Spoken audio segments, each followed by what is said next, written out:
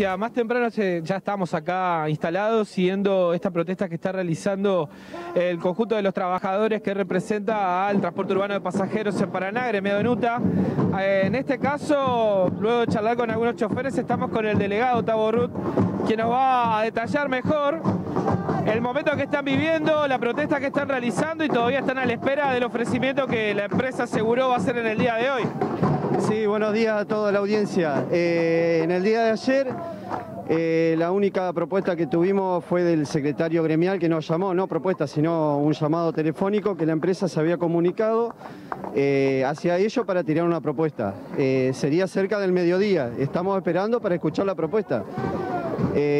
bueno, los compañeros se autoconvocaron acá, tenemos apoyo de otros gremios que no han venido a dar el apoyo por, por la necesidad que tienen nuestros compañeros.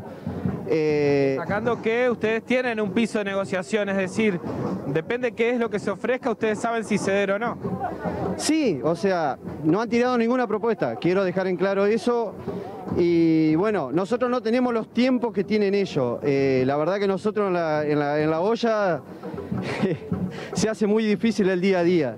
Y bueno, Vamos a esperar la propuesta que tira la empresa hoy. porque estuvimos charlando con distintos choferes y según los años de antigüedad que tienen, es mucho dinero el que se les adeuda. En algunos casos hasta 140 mil, 150 mil pesos. Bueno, eh, no te podría dar cifras exactas porque eso, como vos decís, es debido eh, siempre y cuando la antigüedad que tiene cada trabajador pero sería alrededor de entre 80 y 90 mil pesos porque algo han pagado del, salario. Faltaría el otro 50% que no tenemos fecha, estamos esperando que, que nos den una, gotita de oxígeno eh, para poder eh, seguir sobreviviendo. Eh, mientras tanto, la realidad de cada uno de los choferes es distinta y en algunos casos es realmente crítica.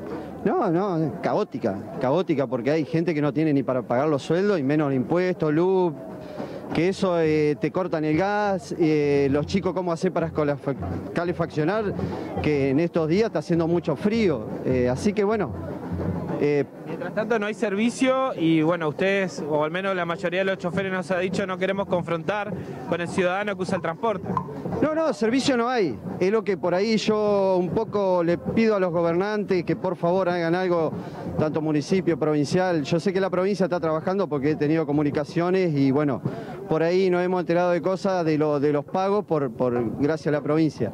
Eh, en este momento quiero agradecerle. Pero esperemos una solución. Dios quiere sea pronto. El ritmo de la protesta, ¿cómo va a estar marcado? Bueno, esperan esta respuesta de parte de la empresa con una propuesta, pero ¿va a continuar recrudeciéndose? Sí, vamos a seguir con lo con la gente que se autoconvoca, nosotros somos delegados y vamos a estar en apoyo a ellos. Eh, no tenemos, como te vuelvo a repetir, no tenemos los tiempos que ellos tienen. Eh, lo que no entiendo es que la empresa en este momento no está teniendo gasto y los subsidios le siguen entrando en las cuentas de ellos. Pero a nosotros en la cuenta del trabajador, nada. Eh, y recién el ATP.